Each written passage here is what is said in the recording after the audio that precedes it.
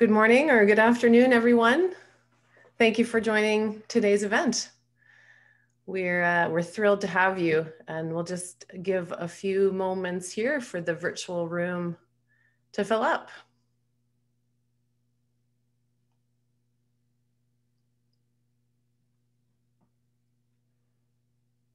Welcome once again to uh, today's event, Canada's Net Zero Future making the transition prosperous and equitable.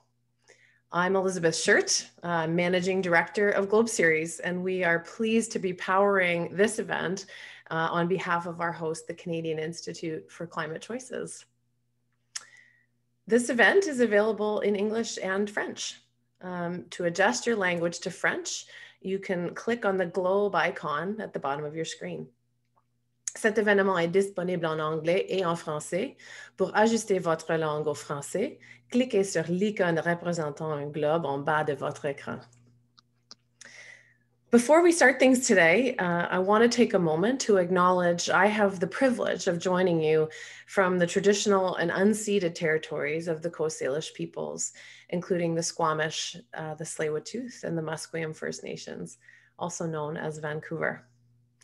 And I'd like to invite each of you to take a moment uh, to reflect on the land you're joining us from uh, and get flexing that interactivity muscle uh, by using the chat to share details on the connection that you feel with the place that you live, uh, where you're joining from, or, or maybe uh, another place that you feel a strong connection to. So please, uh, I'll invite you to do that now using the chat function. Globe prides itself on holding tough conversations. Uh, we convene a wide variety of perspectives, and we're a forum for meaningful discussion and, most importantly, outcomes and action. With hundreds of attendees joining on the line today, we're bound to disagree on some of what we talk about uh, regarding the transition to uh, Canada's net zero future and the trans transformation of our economy. We welcome debate an honest dialogue and we ask everyone to engage with one another one another respectfully uh, over the next 75 minutes. And of course we are all here together uh, across the country and, and even beyond for the next 75 minutes. Um, we have a diverse panel of Canadian leaders joining us to share their perspectives and dive a little deeper into the net zero conversation to understand the policy, technology, and investment choices that are going to be required to ensure that transformation to a net zero economy is prosperous and equitable for all. Um, finally, we will get to answer some of your questions. So please be sure to add them into the chat throughout the event and make sure when you're sending through those questions that you select all panelists and attendees so everyone can see the questions that you're putting forward. To kick us off, um, I want to start with a poll. Uh, we want to have a sense of who's in the room here with us um, and, and where you're coming from as you join this conversation. So we'd like to get your take on what matters to you the most when thinking about how Canada should approach a net zero transition or transformation of our economy. You can choose three uh, options from the list below. Um, is it most important to protect the competitiveness of the Canadian economy, uh, to provide supports for low income households, to ensure historically marginalized groups get to benefit equally?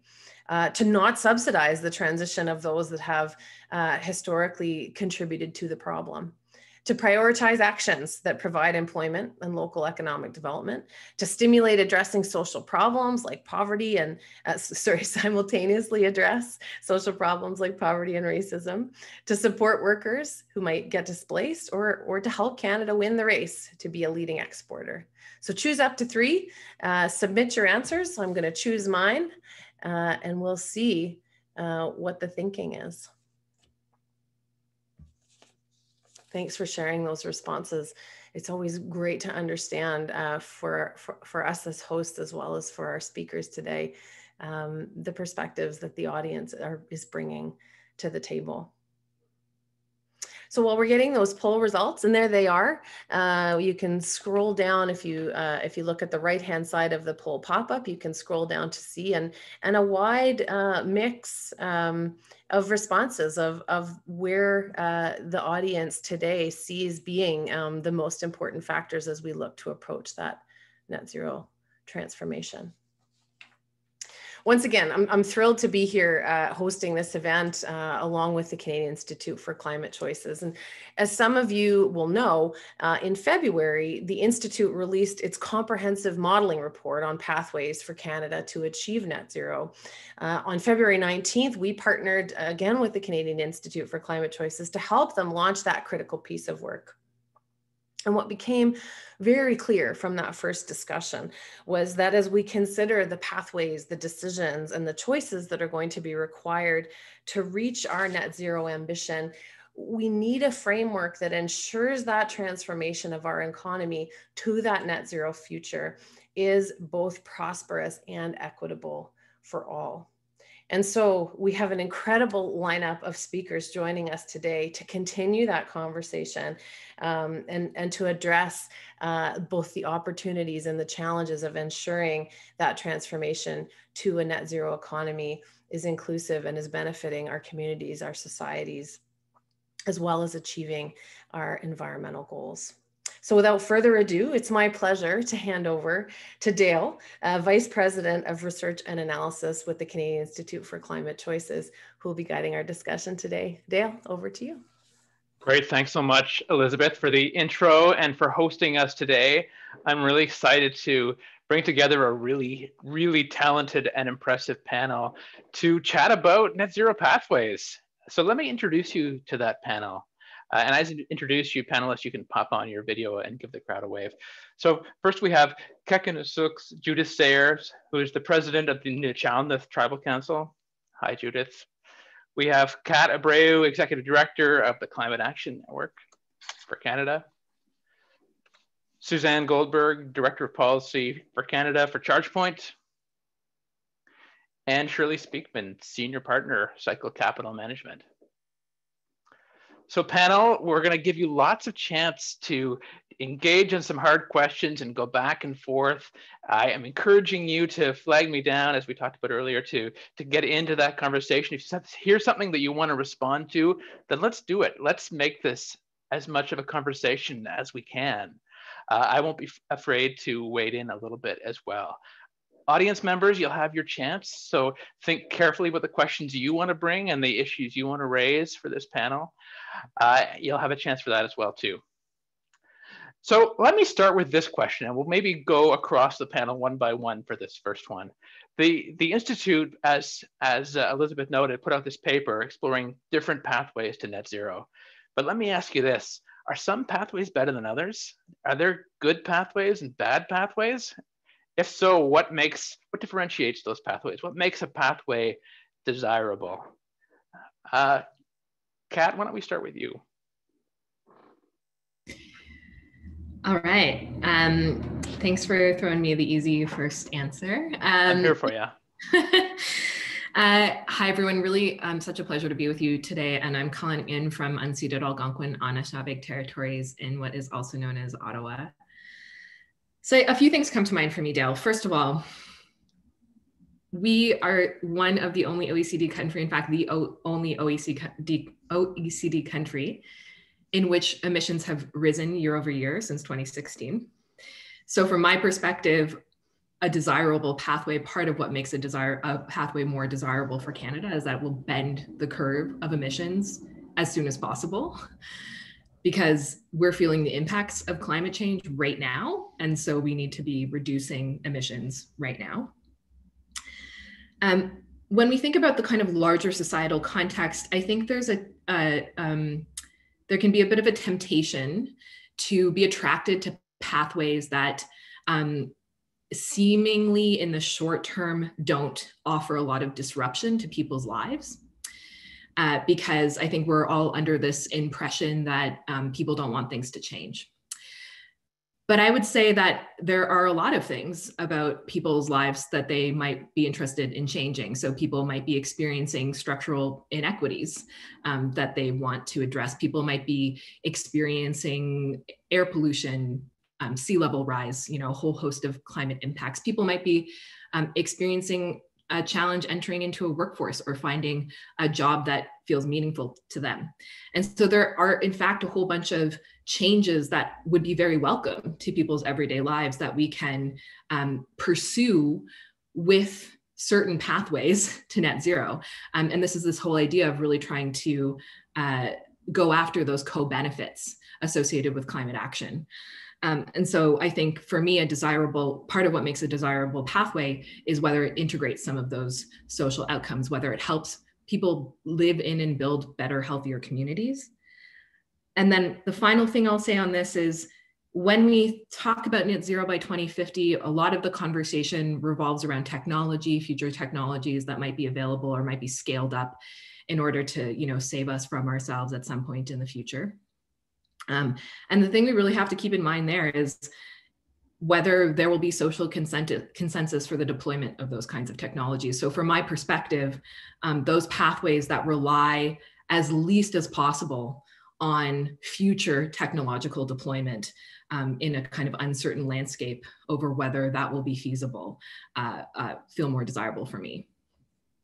Perfect. Thanks. Judith, how about you? you do you want to take a first shot at this, at what makes a desirable pathway? Well, you know, at this point in our existence, I think that we're going to have to take as many pathways as we can and what it is that you feel is the way you should walk. You know, I look at our Nuu-chah-nulth territories and our oceans are warming, uh, pollution, um, the heat has affected our forests, which give us our medicine and are there for have ecosystems and places for our wildlife. And, you know, for me, how do we get to the point where we can go back to our way of life and being able to fully exercise our rights in the ocean and on the land with the lands and animals? And, you know, for us, you know, um, protesting or, or, going against um, things that are going to impact the land occupies up too much of our time you know so you know, we really need governments to be looking at industries that are going to be developed that do not have the um, negative impact on the lands and waters. But they do it all the time. Money and jobs is what they're after. And I always find that very difficult to work with. Uh, so, you know, there are so many other technologies out there and are developing that while you may be losing some jobs in the forestry industry, you might be increasing jobs in the fishery because you know um, right now thing lots of low runs and you know things aren't like they used to be. So for me um, choosing pathways and switching pathways if something better comes along let's go for it. Because i just think we need to be running along these pathways and doing what we can at this point in time. You know I, I think some of the issues we're facing right now and the fear of covid i I can't help but think that some of the things that we're creating is because of the way we're living and what we're doing. And we need to stop that so we don't have to live in the fear uh, for our lives based on some of these viruses that are here now and are likely to come in the future. So thank you, Dale. Super answer. Thank you. Shirley, let's go to you. Um, well, just to pull on the thread that Catherine introduced, I think we, I think we finally have got a certain level of political will and coordination that gives us a unique opportunity to, to, to really um, mobilize, to really mobilize, right? We've got a moment of momentum. And uh, for me, the pa a pathway would be one that actually does bend the curve and leverages the what, what is a unique opportunity uh, for us collectively to to ensure that we have the political will to make some of the big changes that we need to make happen occur. Suzanne? Yeah, thanks. Thanks, Dale. I, I might, um, you know, uh, continue on what what the other speakers have said, and I just say that I I really like this this question because I think it calls out the real world dynamics that ultimately influence what what pathways are are adopted. And you know, I think Kat mentioned this the co, the co benefits um, beyond what we might identify in models. And and don't get me wrong, models are helpful. And Dale and I did our our master uh, master's projects modeling, but you know, beyond technological feasibility, reducing greenhouse gas emissions and you know, economic efficiency and the cost per ton, I think it's really looking at the factors that support a sustainable transition in different sectors across our economy. So when I think of a desirable pathway, I'm thinking of, you know, are we utilizing solutions that consumers and businesses want and private investment is flowing? Are we creating new uh, economic opportunities and jobs and then are we delivering environmental benefits beyond just greenhouse gas emissions? So, you know, speakers have mentioned, you know, clean air and the associated health benefits. And then another critical piece is, you know, all, are all these benefits flowing to a broad group of individuals across across Canada. And you know, from from my space in transportation electrification, I'll just pick on it because I think it's a really great example of a net zero pathway that kind of has a, a really good climate punch. Um, is already picking up you know, great, great momentum as, as a pathway. And just as a, a starting point, you know, Canadians uh, drive and, and buy the most polluting vehicles and EVs really deliver a significant emissions reduction um, benefit. And we can take advantage of our already clean grid and, and grid that's getting cleaner. And beyond the climate benefits, because we were talking about co-benefits or, or mutual benefits, transportation electrification delivers really a wide range of, of these benefits and reducing fuel and maintenance costs, for example, for if you commute or if you're a fleet, or improved air quality if you live in communities with um, lots of commercial vehicle traffic or, or, low air quality. So electrifying our, our commercial vehicles, or if you take public transit, also making you know electric mobility options accessible in, in, in that uh, particular mode. And you know the other thing I just want to say on this is you know within the perspective of, of or the framework of, of producing solutions and pathways that consumers and businesses want you know, I think there was a comment about transformation and, and things that might be uncomfortable. Um, you know, I think transportation electrification is a transformation, but one that consumers are being drawn to. And, you know, the last point I'll, I'll make here is that, you know, recent study after study have shown consumer interest in, in electric mobility. And just a recent study showed that seven out of 10 new vehicle buyers are interested in EVs. And we see automakers investing billions of dollars. So, you know, those are just one, one example of to highlight some of those points I raised. Okay, thanks, Olivia. That's a great start for us. And I, I'm going to push something back at you and challenge you a little bit here because what we saw in the poll that Elizabeth put out and what we heard from all of you is a bunch of different criteria for successful transitions that they actually do transition they actually work that they're actually likely that they're possible but also that they are kind of economically sensible and they make sense for for jobs and for economic activity, and they make sense from a fairness perspective. What if there's trade-offs? Are there trade-offs? Do do different pathways emphasize some of those outcomes more than others? Can we make trade-offs? So maybe give you one example. If it is, if, if one path might be more desirable and check more of those boxes, okay. but it's harder to do. So there's still chance. Are we okay on sound? Yeah. If one of those pathways is harder to do, but delivers better outcomes. Is that a good deal or a bad deal? Anybody, wave me down if you want in. I mean, I might hop in. Please. Um, you know, I think like a part of the answer to that question is what are the tools that governments are using to assess the relative value of certain pathways over others?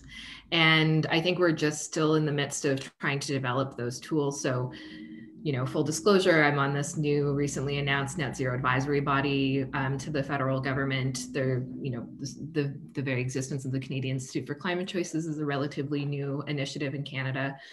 Um, and that's what's happening at the federal scale, um, not I, you know, I can't really speak to what might be happening at the provincial scale. So part of that question is like, what are the frameworks that we're using to help us make those decisions? So, you know, one of those frameworks might be, and this we've seen this in other jurisdictions, developing a kind of carbon budget approach where um, that carbon budget helps us make explicit some of the implicit implications of our decisions around certain kinds of policy um, directions or investments uh, as we you know move toward emissions reductions goals Canada has so far chosen not to deploy a carbon budgeting approach. So, are there other kinds of um, frameworks that we should be developing and using to help governments make those choices? What kinds of interactions with the general public, and how does that interaction with the general public occur? So, you know, we had the Just Transition Task Force on uh, for coal workers and communities, and they went to every single community that had workers dependent on the coal industry and spoke to them how do we make sure that that kind of direct communication at the community level can continue to happen as this transition unfolds so that we're really hearing directly from people. Thanks, Kat. We're going to do more on policies and how we actually walk these pathways in a minute. So I'll come back to some of those points. But I'm not quite ready to give up yet. I, I don't want to let us skate through this idea that we want all these all these good outcomes from our pathways. And I, I want to be convinced that it's it's not necessary to make trade-offs. And if we do have to make trade-offs, I want to hear a little bit more about how we do, how we should. Shirley, and then Suzanne. Sure. Um, so Dale, maybe I'm I'm a, a contrarian. I don't know, but I I I fundamentally believe that we our, our pursuit should be in in reducing emissions. Right, that is an exist, existential threat to us, and we absolutely should try to create those those co-benefits. Sadly, I think that in the short term there will be there will be people that are hurt. Right, um, oil workers uh, in Alberta will will lose their job. But what we should be doing is putting in the necessary systems and support, like like we've done with COVID. We've proved that we can we can we can make this system work for the work for people when when we have a crisis to address. So we should be putting in the necessary support to transition workers to, to address um, and, and to make it um, as easy as possible for people to accept that the transition must occur, right? Um, so as, as, Suzanne has pointed out, right now there's people who are well, ready, willing, and able to adopt uh, electric vehicles. Fantastic. Um, if, if there is a way we can get people um, to a similar point on other issues, I think that that's that's a goal for us. But at the end of the day, we, we do have to reduce emissions. And so I think in, I, I just want to acknowledge that I think that there will be trade-offs. I think that there will be people in the short term who are hurt, but I think it's our responsibility to try to minimize and mitigate it as much as possible. And maybe that's go but it's it's it's what I believe. Thanks, Shirley. We're going to go policy soon, but that before we do that, quick hits on trade-offs from first Suzanne and then Judith. Yeah, and I'll just pick up on what what Shirley said. Like I, I won't repeat the you know the acknowledgement that there are trade-offs, but you know Shirley, I think you touched on something which was you know we need to reduce emissions, and when we set that objective, um, we we can create opportunities, and focusing on those opportunities and you know, we put a clear policy. Well, I know Dale, you don't want to get me want me to get into policy, but if we set a clear benchmark in terms of the GHG target we want to get to, you know, we send a clear clear signal and, and give time for businesses and communities to to adapt. And I think that's that's really key. And from there, innovation happens. And then, you know, we're, we're talking about if we could talk about trade-offs at that the level of a consumer or a business, you know, innovation will respond to that. They will will make products and services uh, and community exercises that you know individuals and, and Canadians want. So I, I, think we have that opportunity there. And and as you said, you know, new products and services will spur jobs. And and I think the key there is making sure that we are training appropriately and also just making people aware of these new opportunities. Education is is a critical piece as, as these pieces move so so rapidly. Perfect. Judith. Who makes the decisions on trade-offs? You know, is it question. consumers? Is it companies? Is it the government? Here on Vancouver Island, I've been ahead of um, the Island Corridor Foundation. We run the rail on Vancouver Island. We've been trying to get the government to support us and put rail in place so we don't have to widen the highway. We reduce greenhouse gases. We take traffic off the Malahat. Um, but the government doesn't care. They think they can put buses in place or they just won't support us. And you know those are the kind of things that we'd love to get our train up on we need some capital.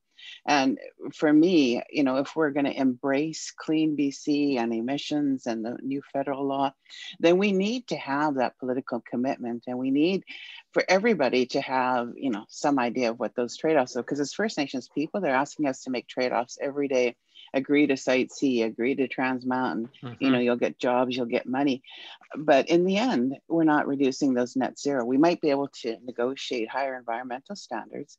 But if we can't live the way we want to live, is that really the kind of trade offs that we want? And so that's, you know, so do some people have to make more sacrifices than others for the sake of trade offs? I, I think that's a big question that we need to have a good discussion about. Thank you. Okay, look, that I want to go. I was going to ask about policy, how we how we make policy choices at all orders of government to thread the needle, to try to hit as many of those objectives in the way to net zero as possible. But I take Judith's point, and let's expand that not just policy choices, but also governance choices. I think both of those things matter in, in different ways. So I'll open it to either or both if you want to.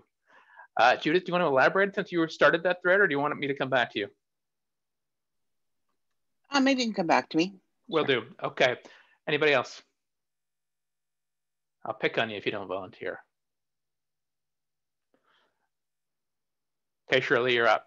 So Dale, just reframe, can you reframe the question for me? Because I'd be what happy kind of, to answer, but I want to make sure the, I understand it. I'm asking about the policy choices that we should advance, that governments at all orders should advance, both to deliver on net zero, but also deliver on these other objectives that make some pathways better than others. But how do we walk these desirable pathways? Sure. So let me let me answer it from my day job perspective. Please. So as a as a senior partner at a venture capital fund, um, what I need and what the companies need that I invest in, they need certainty. Like they they they need to know that there is a plan and that the plan isn't going to change on them because when we we make a decision to invest in a company oftentimes it's because um, uh, let me try it differently. Sometimes we don't make an investment in a company because we are uncertain about the regulatory impact or the policy impact that is is surrounding the company which which obviously increases the risk it, which increases our expected return. And when you work through those numbers and, and sadly it often does come down to numbers I, I can say no, the risk is too high for the people that provided me capital to invest in this fund. So what I will say is I am very happy that the Supreme Court ruled in favor of a carbon tax. That might not be, be a, a favorable or a, a, a well-received uh, perspective by many, but I think if, if the only thing it did is reduce uncertainty, that's a good thing. And I think as we talk about policies and regulations, it's really important to provide that level of certainty that we can, as a business, that it can plan around. Fantastic. Judith. So, say the government decides um, as their policy they're going to try and net zero by 2050, they're going to adopt this, but they keep on approving um, industries that are emitting greenhouse gases without reducing in other places.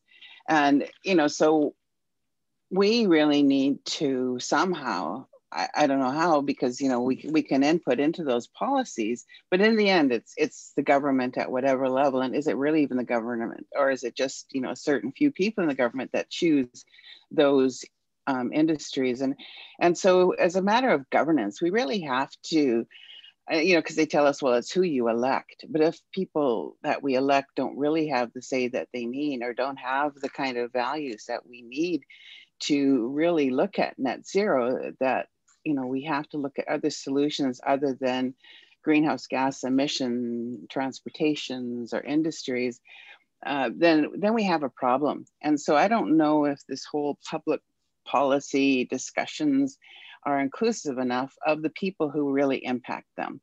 So the communities that live around them, whether they're First Nations or other communities, and yeah, they might get the jobs, but what does that mean for their health, for their air, for all of those things? And, and so I just think that um, the processes that we have set up and right now just really aren't effective enough in being inclusive of benefiting the people and doing what the people want. Kat, you want in? Yeah. Yeah, I'll hop in. So, a few thoughts. Number one, I, I mean, we kind of need to do some real thinking around what what's the enabling landscape of policy and governance that's gonna in, that's gonna lock in um, this kind of policy durability that Shirley's been talking about, and create uh, the table at which we continue to have conversations about our pathway to net zero in the future. So, this motivation for kind of settling set setting up that enabling landscape is big part of why we work on Canadian climate accountability. Um, we now have Bill C12, the Net Zero Accountability Act.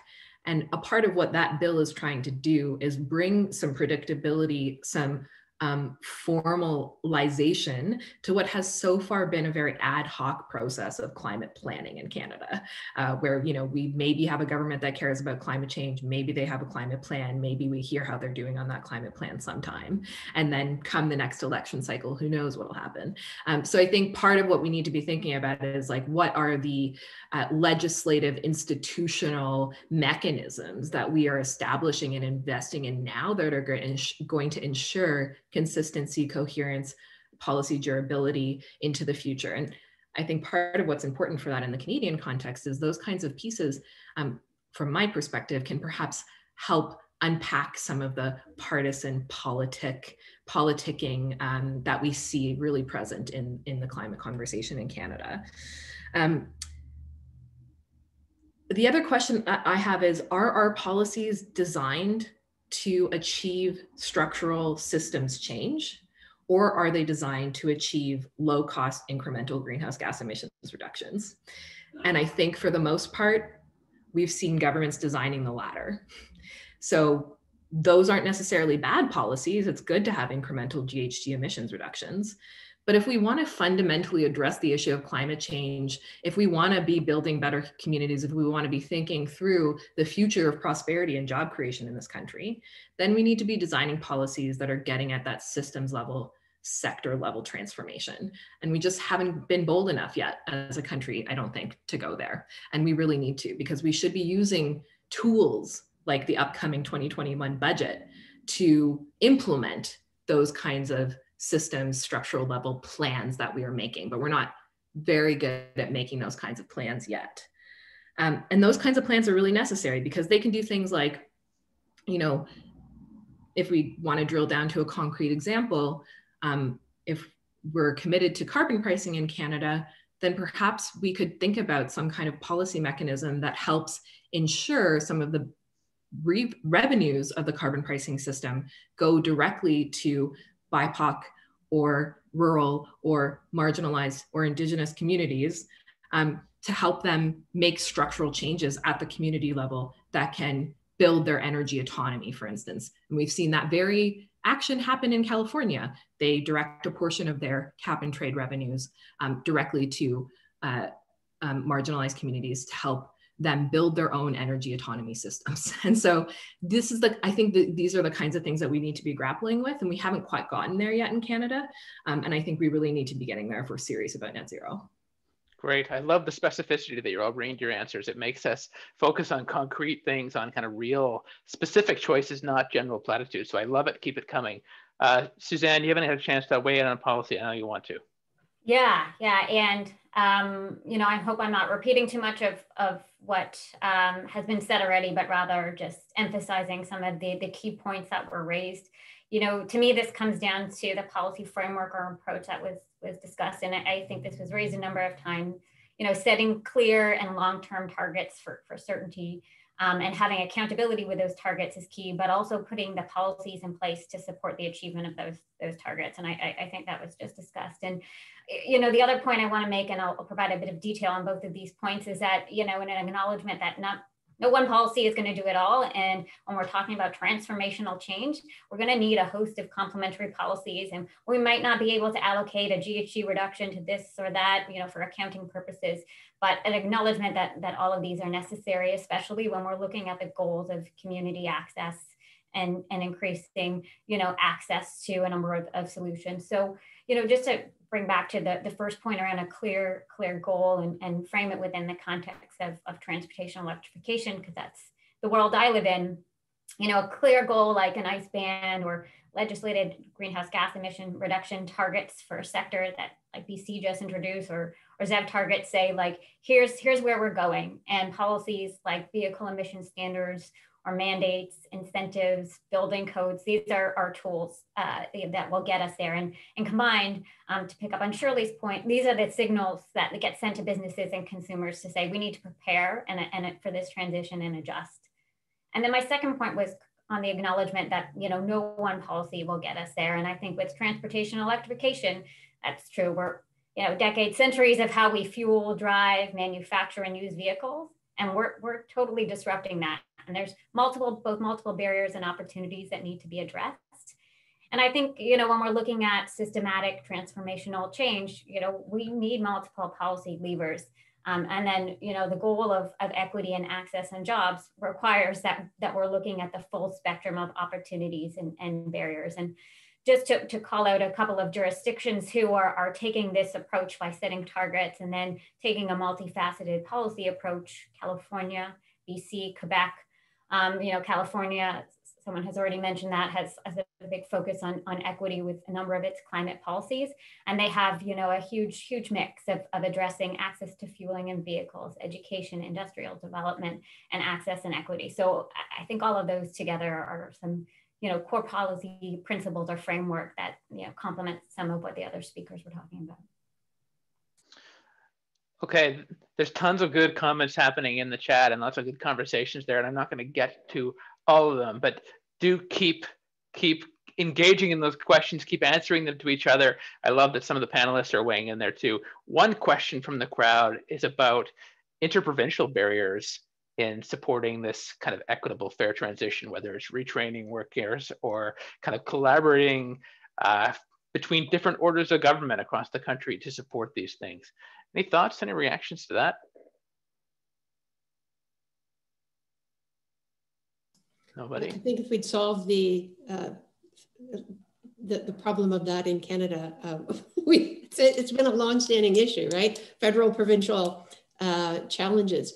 I, am hoping that, I know hope is not a strategy, but I'm hoping that with the clear direction from the Supreme Court that carbon tax is, is uh, constitutional, that, that we can, that it puts aside some of this issue and we can drive towards um, crafting uh, policies and actions that actually drive down emissions.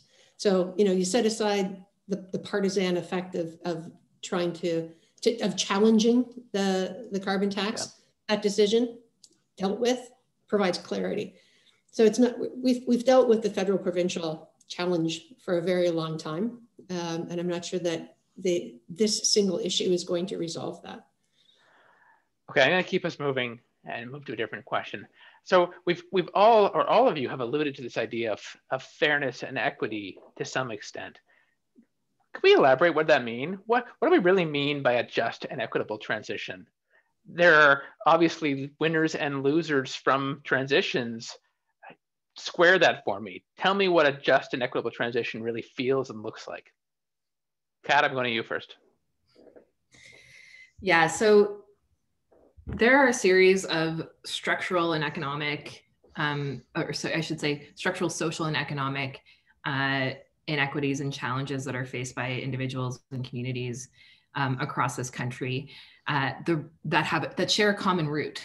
Um, so, you know, the root of climate change is the same in many cases when we get to that structural level as the root of you know structural racism and um, colonial forms of extractivism um, and wealth inequality so part of what we're getting at when we talk about a just recovery is trying to address those crises simultaneously by working on the root problem um, and that's in part why I, I really emphasize the need for this systems level structural transformation approach. I, I saw a few comments in the chat saying if we distract ourselves from the crisis, the climate crisis, by trying to work on these other issues, we're not going to get the job done.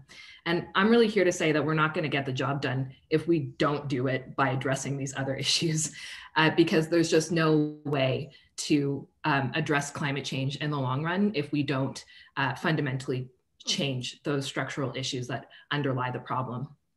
Um, so, that, so that's really what we're getting at. And I, I would like to, uh, I think, lift up um, part of what Judith said earlier, which is around like who gets to make these decisions um, and, and how are we designing the process around who is included in these decision-making rooms?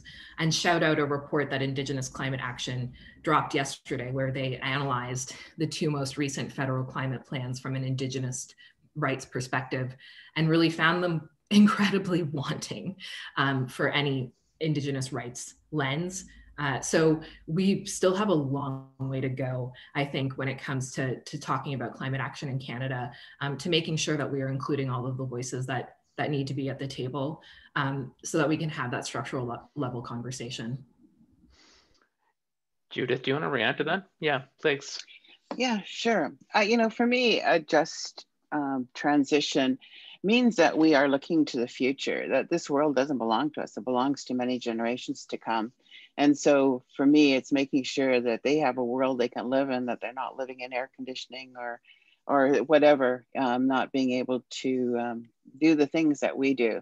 And it's also showing the younger generation that this is how we can live. This is, you know, what we're looking for, you know, and it's also, you know, for Indigenous people is making sure our children and grandchildren and seven generations can continue to exercise their their way of life, um, ability to exercise our rights in the forests, in the oceans, on the land.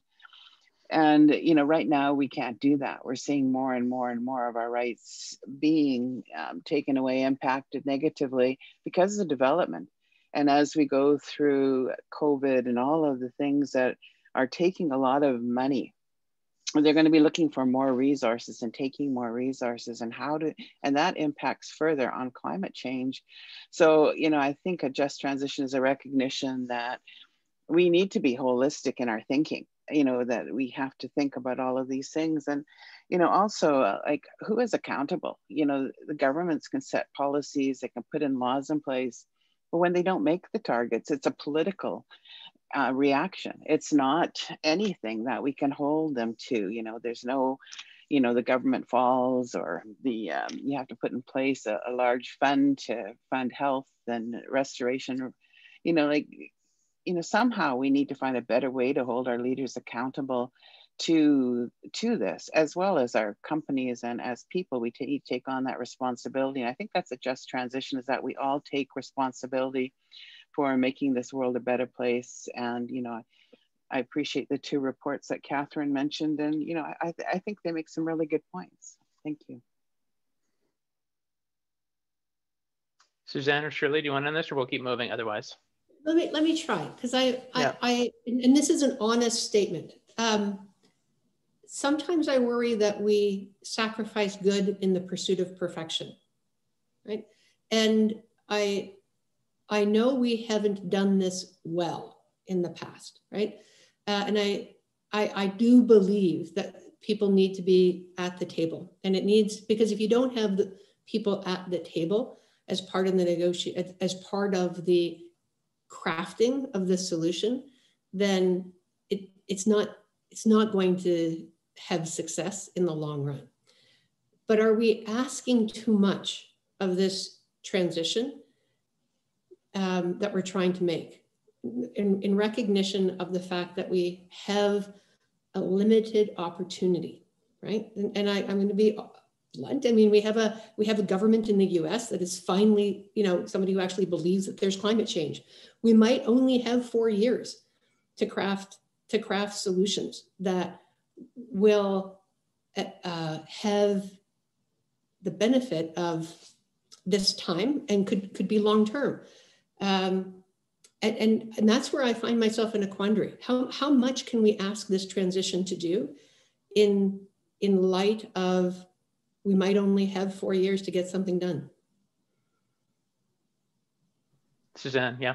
Yeah, I'll just add, add a, a, little to that. And, I, and Shirley, I pre appreciate your, your reflections there. And I think, you know, I'll, I'll just add to some of these transitions are already happening Um, so, you know, the question there is, and, I totally get your point of like, we can't let perfect be the enemy of the good, if that's the phrase, or I just mess that up. But, um, you know, we, we are sometimes dealing with a world of second best policies and, and just achieving what, what we, we need to, because anything um, that works towards that goal, um, you know, is, is success. But, you know, if we do have momentum in, in sectors, you know, like the one that I, I sit in, I think there is a responsibility for policymakers and businesses to, to step back and say, okay, we're already on, there's a trajectory here that, that seems to have forward moving momentum.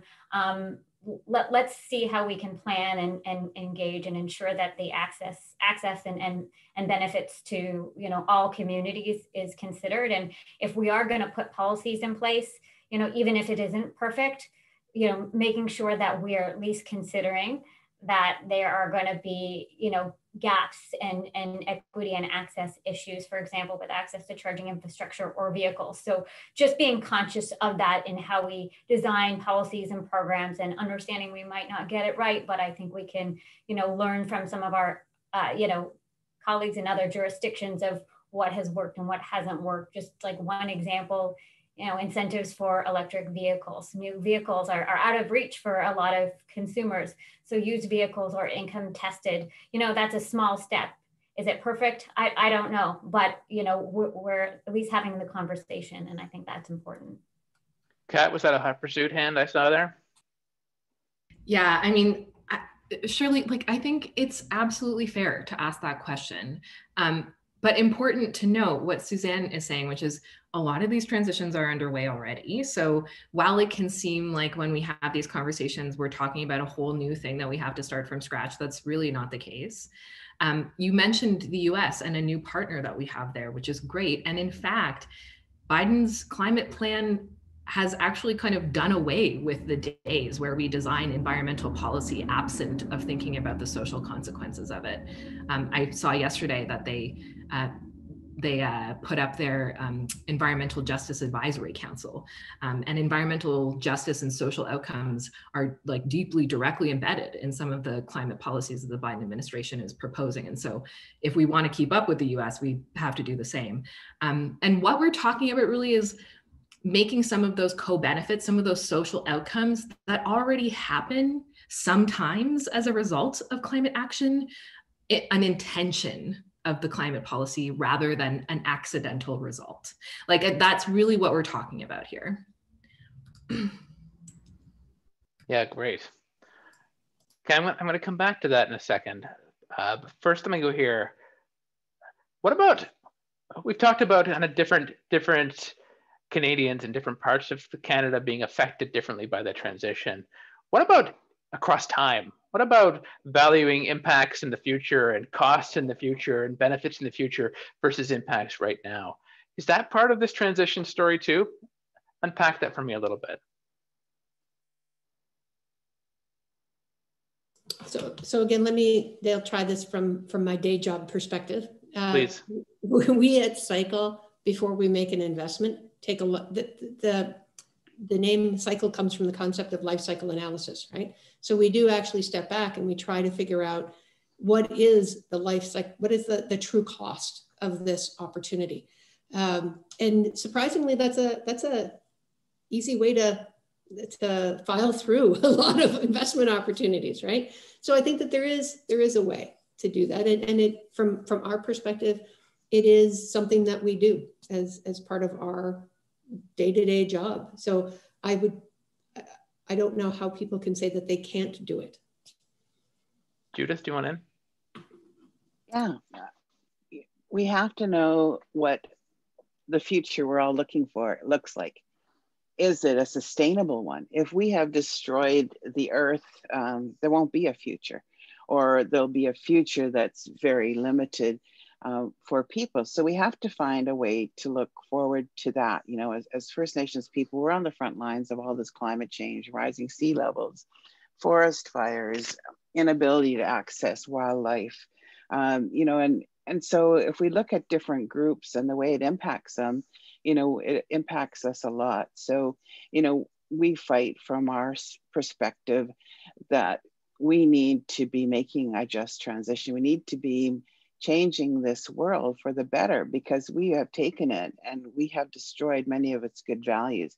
And how do we retain what's here now and restore and restore it to a, a state that we can keep passing it on to the next generations?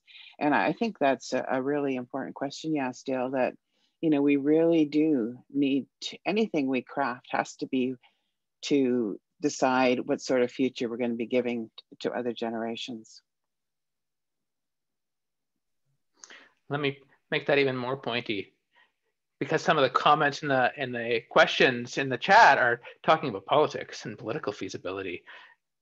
To get to that future, to make that transition feasible, does it mean that we need to compensate or, or address those that are bearing the costs on the way to that transition? Is that a political question or is that a fairness question? Is that both?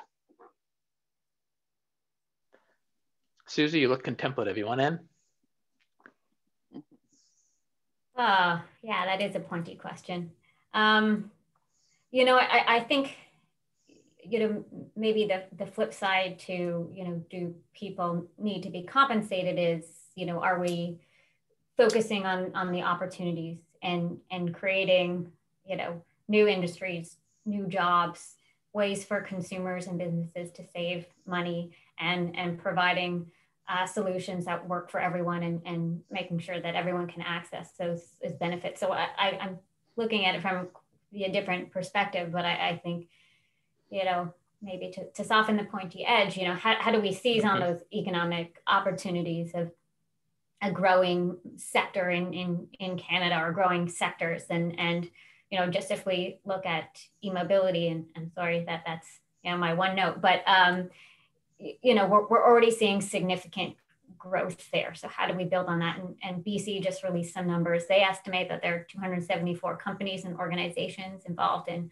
all aspects of the EV sector, over 6,000 um, direct employment, $622 million in provincial GDP, and, and $1 billion in economic um, output. So, you know, are we seizing on those those opportunities there and, and how, how do we build on that? So yeah. Judith, Judith, go ahead. Thanks, Susie. I would rather not be compensated. I'd rather have what's there. And, yeah. you know, any money that's available is should be sunk into pathways and solutions for the future. What is it we can change? Can we put that money into something that is going to ensure net zero emissions? And what are the, you know, because there's a lot of things. I think I mentioned the last panel about, um, you know, like BC Ferries converting to electric ferries. Well, we need a lot of infrastructure. We need a lot of money to do that. That's a great goal. The same with any of the trucking industries, etc. We need money to do that. So can we put money, that kind of money into something like that and just try and achieve as a goal, let's keep what's there without destroying it any further and actually enhance what's there. I, I see Kat uh, waving her fingers in agreement. So she gets to weigh in verbally too. Yeah, I mean, like Judith kind of made this point that I wanted to make, which is like we're talking about compensating people who are going to be affected by, by the transition, but what about compensating people who are being affected by the impacts of climate change right now? Um, what if we we talk about the trade-offs for moving to a net zero future, but we don't talk about the trade-offs that we are currently experiencing as climate chaos mounts, right?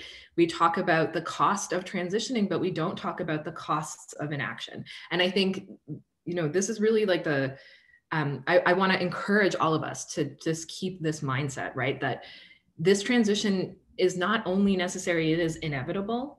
And while it might mean some changes, it might mean some expenditures, the sooner we do it, the less money it's going to cost and the easier it's going to be for all of us to adapt. So I, I just really wanted to drive that home and also really lift up the fact that it's about equity, right? It's about making sure that those who have been most impacted by climate change benefit most from this transition. Okay, here's a, a related, though slightly adjacent question from the audience. Many rural, northern, and resource dependent communities have experienced boom and bust cycles for decades and thus face unique social and economic challenges from this volatility. How can the government support these communities to diversify in a way that supports, uh, provides decent local jobs, help people stay in their homes, provides local autonomy and decision making, and incentivizes environmental benefits that are in line with their values?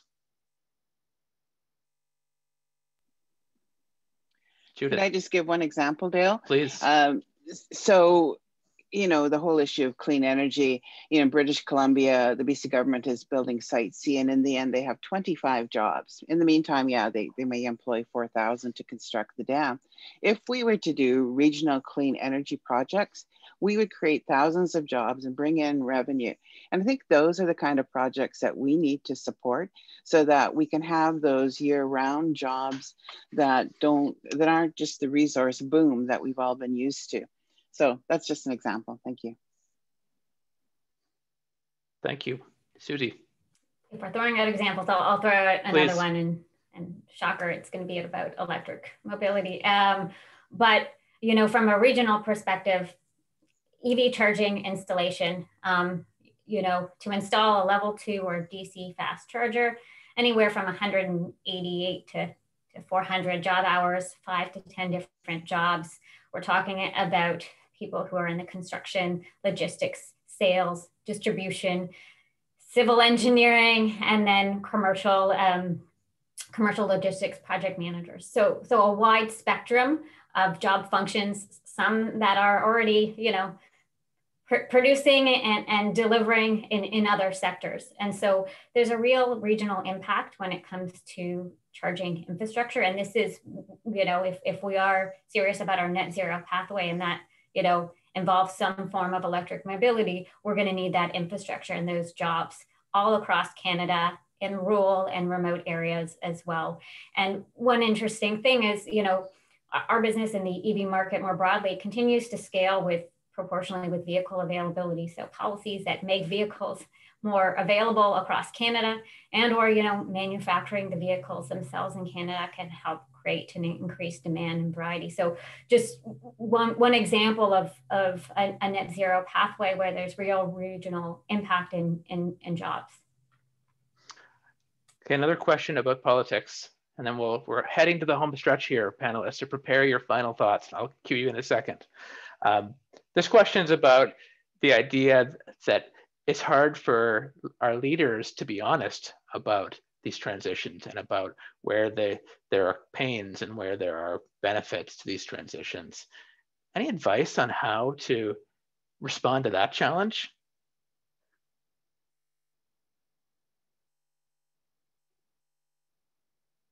Sorry, can you repeat that, Dale? Yeah, I think there's this this idea that there's there's recognition that the transition has costs for some and imposes cost in some regions and in some communities in more than others. And that it's difficult for our leaders trying to guide this transition to be honest and straightforward about those kind of downsides, whether they are distributional or all. So how, how do we tackle that? How should our we as it, as participants in this conversation or policy leaders trying to drive this transition tackle that challenge that is political in a way but also distributional? Um, let me, I am not a politician, but what I, but I am a voter. And, and yep. what I appreciate in the people that I vote for are people who are transparent um, about the decisions and the policies that they support. So um, I do try as a citizen to educate myself. Um, so what I want from, from my leaders is are in fact leaders that are willing to take specific and hard stances and, and tell me what their programs are so that I can make an informed decision. And then, you know, in four years, if I'm not happy with what they've with what they promised and what I signed up for, then I make a different decision. But it, it's an imperfect system. But I think being the, the message that I would give is is I, I believe that people understand the imperative nature of the crisis that's in front of us. And that we have, again, a unique moment in time to bring people aboard. And, and the important message is that um, to be transparent and, and to explain, in, in fact, that there will be that, that there are people who are suffering today the impact of climate change, and that there will be people who will suffer uh, in the transition. But in the law, in the medium and longer run, we have a more sustainable system. Mm-hmm. I think it's transparency. Transparency. Judith and then Kat. Okay, well, I, you know, I mean, I, I don't know if there's this kind of person out there, but, you know, uh, you've just got to have people who will live up to what they believe in and to their values, and they'll do everything they can to promote those values. If it's a net zero world, then let's have all actions and turn down anything that might detract from that. Uh, you know, a lot of our politicians get swayed by the oil companies or, you know, something that will bring in revenue and jobs. But, you know, as a society, we need to be saying, you know, like for us, the most important value that we can have is to um, preserve this earth, have net zero emissions, and everything that doesn't contribute to that or isn't offset can't be built or can't be done. Or you know that my actions are going to be in putting this in place. I know that's hard and i've seen a lot of we've seen a lot of our politicians turn away from what they said they would do and put it off and and i just um, we just can't have those kind of people in power anymore but i don't know how we, we stop that because it's just kind of the way the world goes but you know in first nations communities a lot of our leaders are just let's let's stop this this and this and we don't sway from that um, because it's our future, it's our land, it's what's important to us. Uh, but you know, we're we're not in the power position of power in this country, unfortunately. Slight interjection from the comment chat. You have boosters, Judith, for you being the next prime minister. So maybe power is in your future after all. Kat, you're up. Thank you. um, yeah, call me in if you need someone on your campaign team. Um, so, uh, you know, I, I'm totally on board with Shirley. Like, as a voter, I want politicians who have the courage to help us have this national conversation that we need to have. I think a lot of the time um, governments shy away from these kinds of conversations because they don't want to be picking winners and losers. We hear that all the time. But not making a choice is making a choice. Um, and we have a series of choices that we have to make as a country. And if we don't have politicians who have the courage to help us make those choices with clarity and with information um, and with a, a a, a, line of sight to the end goal, um, then we're going to have a real hard time coming out on top in this transition. Um, I think we also, you know, climate change is a collective problem and we need collective solutions to address it. A lot of comments in the chat about, oh, how do we address um, the, the challenges presented by Canadian federalism um, and different approaches across different orders of government? How do we get municipalities more involved um, in Canadian climate planning? How do we make sure that Indigenous rights are being reflected in the ways in which um, Canada makes its climate plans? And these are all really essential questions. Um, and I think we need to be thinking about some really out of the box solutions to them. So, you know, one thing that I'll suggest is um, a really interesting proposal came from Seth Klein and uh, Gil McGowan, who's the uh, head of the Alberta Federation of Labor, for maybe thinking through a new kind of federal transfer system that um, hinges around climate action and just transition. Um, and i'm not necessarily advocating for exactly that that policy solution but i think those kinds of ideas thinking outside the box thinking big and figuring out how we can kind of set the table for a conversation and effort sharing across this country will be really essential. Okay team. So we're in the home stretch here and you're going to get one last kick at the can. And i'm going to start with susie so susie get yourself ready. But here's my question to set you up. I've I this is kind of inspired by Shirley to some extent that we've been talking about both the desirability of different pathways in terms of equity, in terms of outcomes, uh, but we've also been talking about the feasibility of these pathways and the extent to which they're even some are easier or harder or more or less likely. One of the questions in the chat talks about the idea that just as just transition sounds great, but does it is, is trying to address everything a barrier to addressing the first order challenge, which is the emissions reductions. So here's my final question for you. Feasibility and desirability, are they in opposition? Are they together? Do they push against each other or they go alongside each other? Reconcile that tension or tell me it's not a tension uh, if you can. Suzanne first and Shirley second. Hey, um, hey, going first. Um, I think, you know, my perspective is they, if there's tension there, then then maybe it's not going to be a successful solution. Um, and a, a, solution needs to be both feasible and, and desirable and, and deliver benefits to, to everyone. So again, just like circling back to, you know, electric mobility, is it feasible? Yes, we have technology solutions available. Do consumers and businesses want it? Yes, they're purchasing them. You know, is, is, is private sector investment flowing? So there's a desirability there. Is it delivering co-benefits? Yes. You know, these these different factors need to come together in order um, to see a successful pathway really stand at the test of time and be a significant contributor to our, our net zero uh, goals. And and you know, just you made that point about you know, can can we move forward with that without um, and have a conversation about just transition? I think having the conversation is important from the beginning. And I believe someone made this point earlier. It can't be reactive. It needs to be part of the conversation. Doesn't mean we get it right from the start, but, but it needs to be part of our, our planning. So that's, that's my final thought there. Thanks, Suzanne. Okay, Shirley, you're up. And Kat, cue yourself. You're next in the queue. You're on mute, Shirley. There you it go. Has to happen and at least once, once in every Zoom call. You've met the quota. so let me let me say, I think I probably needed a little bit more time on this one, but I think that um, a feasible, the high, the highest probability feasible solutions are also desirable solutions. Mm. Right. So if I've taken anything away from today's discussion, it's that they they aren't mutually exclusive. That that which was an incidental is actually sh should be made, uh, an incidental byproduct should actually be made a tangible, right, a expectation. And, and I, so for me, I don't think that they're mutually exclusive. I think just making sure we establish the breadth of desirability is, is important, right? Because we do have, and I'll say it again, this, this moment where we have, I believe, public attention on this, political will towards this.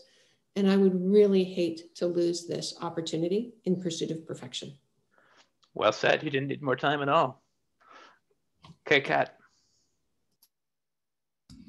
Um, anything's feasible if it, if you desire it enough. Um, I think, you know, I think that's really the fundamental truth. And I recall the you know, one of the core findings of the 2018 Intergovernmental Panel on Climate Change's report on global warming of 1.5 degrees, where they said really bluntly, we have the technology to make this transition possible. We have it now. Sure, there are a couple of technology developments that we'll wait on um, that we need to count on in decades to come, but we're sure that they'll come along. We have those solutions right now, and the thing we're lacking is political will. So I do, I do think we are perhaps in a new moment of political consensus around climate action in Canada. Whether we have achieved the political will that is necessary for the level of action we're talking about is another question. Thank you. Judith, you get to take us home. Last word is yours. Sure. I think feasible, feasible limits us. It doesn't give us the need to push ourselves, to innovate, to research, and commit ourselves to something greater. And so I think desirability is great because if we know what we want, then we need to find our way there let's use what's feasible, but let's also increase that feasible to things that we desire. I mean, a lot, you know, the stuff we're talking about is expensive, it takes time. And so I think if we are um, reasonable in pursuing that, but also recognizing the urgency of what we're dealing with, um, that we can uh, combine many great minds across this country and in the world to try and find some of those other innovations that are more de desirable and that will help us to pace ourselves but to get to net zero emissions so that we can save the planet basically. So, thank you Thanks so much, panel. I'm going to hand it back to Elizabeth to wrap things up. But I just wanted to thank the panel for a really great and insightful and smart conversation that, that I thought really was useful and really helpful. Uh, so thanks everybody. And thanks to everybody in the chat weighing in and participating with us as well. Elizabeth, back to you. Thanks so much, Dale. Um, I need my uh, wonderful tech support to turn on my video here, but my goodness, I've been listening intently and, and what a fantastic uh, what a fantastic group. What a fantastic lineup of speakers. And just love the remarks at the close from Judith, um, reminding us not to be constrained with um, our current definition of feasibility uh, because I, and and my goodness if i could leave this group this audience with anything it would be that message is let's not be constrained um, by by what we see as feasible today uh, because we do you know we need to move forward with what's desirable. We can transform our economy. We can transform how we move around how we produce and use energy. We can do all these things uh, and we shouldn't be confined uh, by what we know today as well as the fact that we have so many of the technologies the innovations and and the will right? The the the the societal the political will is at a place that it has never been before. So in that regard um, you know we've had a lot of conversations about the policy opportunities the role of government. And so i, I do want to close with a final poll just to get a sense from the audience, what is the most important role for government as we look to transform our economy towards net zero? And you have five choices there. And we're asking you to just choose one, which I know can be challenging, but we want to we want you to think about what is the most important role. Thinking about is it providing the right signals to the private sector through things like carbon pricing? Is it a, is it about investing in infrastructure to move towards that zero emissions future? Is it about direct, uh, direct public investments in solutions, um, technologies? Is it about ensuring the fairness and the inclusivity of the transition, or is it about empowering communities and community organizations? So choose your answer. I'm going to choose mine. Um, and we will see what the group is feeling after that incredible, incredible conversation from such a fantastic lineup of speakers. Uh, in the meantime, I want to thank again our speakers and the Canadian Institute for Climate Choices for uh, coming together today. I want to thank all of you, our audience members, for joining uh, for the last 75 minutes. Um, I also want to let you know, oh, and here's the poll results. So uh, top, top of mind for this group is providing those signals to the private sector through carbon pricing. Thank you for your responses. Uh, but of course, we do see emphasis um, on those other uh, on those other mechanisms in terms of uh, government role. Um, and, and I did want to say thank you to the audience for being um, engaged with one another in the chat. That's the kind of opportunity we want to use virtual for um, to really um, engage with speakers, but also engage with one another on these topics. Um, so in that regard, upcoming opportunities to continue this conversation. Um, uh, we will, of course, on April 13th to 15th, be hosting Globe Capital 2021, which will feature an exciting lineup, lineup of speakers and mm-hmm. opportunities um, to connect with your peers in the corporate investment, government, and, and in, in civil society spaces. Um, so both thought leadership, learning opportunities through the program, networking, connectivity opportunities, and of course, B, B2B curated matchmaking to, to meet with um, the folks that you need to connect with to drive forwards uh, in terms of action on the program at Globe Capital, of course, we'll be working again with the Canadian Institute for Climate Choices on two particular sessions uh, focused on how do we get to destination net zero, looking at both the role of government and, of course, the role of, of corporate uh, Canada and, and globally in, in how we drive towards uh, those carbon neutral objectives. And we'll also hear from uh, elected officials in that regard. Minister O'Regan, of course, announced to be joining us uh, in conversation uh, during the week of Globe Capital and stay tuned for some more uh, announcements in terms of speakers that'll be joining us that are, are going to be coming up um, right away today. Uh, so excited to share that. Um, we are now coming up at the close of our session. Thank you again so much for joining us today. Uh, it's been a thrill to connect with you uh, and to connect with these experts and thought leaders uh, talking about how we work towards that more prosperous and just uh, net zero future. Uh, I want to send you away with a call to be safe, um, to be well, uh, and to enjoy the rest of your day wherever you're joining us from. Thank you so much.